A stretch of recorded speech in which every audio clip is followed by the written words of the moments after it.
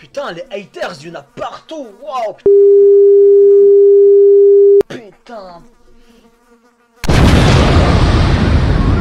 De toute façon, aujourd'hui, on va parler. Oh shit! Oh. Wesh mes couilles. Vous, vous avez deux couilles, mais pas notre ami du jour. Lui, il en a qu'une seule. Bon les amis, là je vais vous raconter l'histoire de Ben. Ben, c'est un gars qui répare les machines à laver. C'est son métier.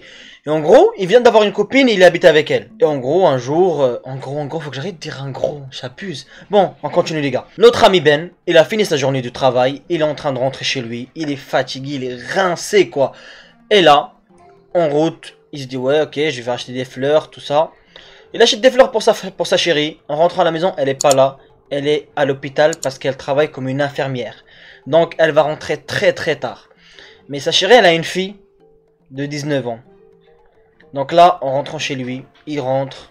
Et il n'y a personne à la maison, sa fille, la fille de 19 ans n'est toujours pas rentrée. Donc là, en rentrant les amis, il va aller, il va manger, il va aller prendre sa douche tranquille. Et là, en sortant de la douche, tout nu, il y a sa belle fille qui rentre. Elle le voit, elle dit Et là, elle commence à le regarder dans les yeux. Et là, elle se jette sur lui. Comme une sauvage, il a essayé de la pousser, il a essayé de lui dire mais qu'est-ce que tu fais? Il lui dit tais-toi. Après, il n'a pas pu résister. Parce que la fille de 19 ans, mais elle était... Donc le gars n'a pas pu résister. Il s'est laissé faire. Il s'est laissé faire, elle commence à l'embrasser. Après elle descend de plus en plus. Ça va très loin. Elle fait ce qu'elle a à faire. Elle là, elle lève la tête. Elle le regarde dans les yeux. Avec un regard très bizarre. On dirait qu'elle a changé. Il la voit. Il se dit, qu'est-ce qu'elle a? Alors d'un coup, elle parle plus. On dirait qu'elle a changé. On dirait, on dirait comme une folle quoi. D'un coup, elle parle plus. Le mec il se dit waouh c'est bizarre ça. En même temps le mec il kiffe, il continue sa vie. Elle a d'un coup les gars, d'un coup préparez-vous. La fille, elle le mord au mais jusqu'à que tu vois les dents du haut et du bas se touchent. Je vais faire un effet boum. Il a très très très mal. C'est-à-dire le mec il lui a donné un coup, boum comme ça, genre lui a donné un vrai coup jusqu'à que la meuf s'est jetée là-bas. Il a essayé de s'enfuir mais il n'avait plus de force. Il est tombé dans la rue, les gens ils l'ont pris, ils l'ont ramené à l'hôpital. Donc là, il doit être choqué, il doit être mentalement, il doit être pas bien. C'est-à-dire, il va à l'hôpital, on l'endort, il se réveille. Une journée après, il se réveille, les amis. Et là, une journée après, les amis, il se réveille.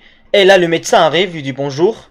Je suis désolé, on t'a enlevé une couille. Le mec, avec l'effet de l'anesthésie, il a fait que rigoler. Il croyait que c'était une blague. Donc il a fait que rigoler, que rigoler, il comprenait rien. Il était un peu... Tu sais, il était genre vraiment pas là, il était défoncé. Et là, les amis, il y a sa femme qui rentre, sa copine qui rentre. Elle lui dit, ouais, qu'est-ce qui se passe et tout, c'est quoi ça, l'histoire, t'as perdu une couille, tout ça, c'est bizarre tout ça.